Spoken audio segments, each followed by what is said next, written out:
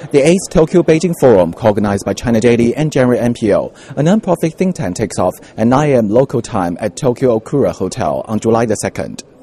This year's forum focused on the future of China-Japan relationship under global vision. More than 600 representatives from both sides attended the forum, with dialogue regarding politics, economics, media, security, and regional issues in top priority during the two-day discussion. 体现了超越国家和民族的人道主义精神。朱林，China Daily's editor-in-chief.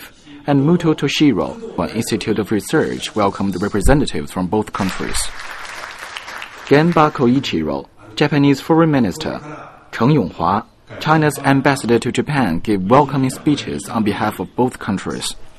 Fukuda Yasuo, former Japanese prime minister, Zeng Peiyan, China's former vice premier of the State Council, Akashi Yasushi, Chairman of International House of Japan, and Wang Chen, Director of State Council Information Office of the People's Republic of China, also spoke at the meeting and made keynote speeches. The Tokyo Beijing Forum is held ardently in China and Japan since 2005, and it is also another significant platform for both countries to communicate face to face. Li Hanqing, China Daily, Tokyo.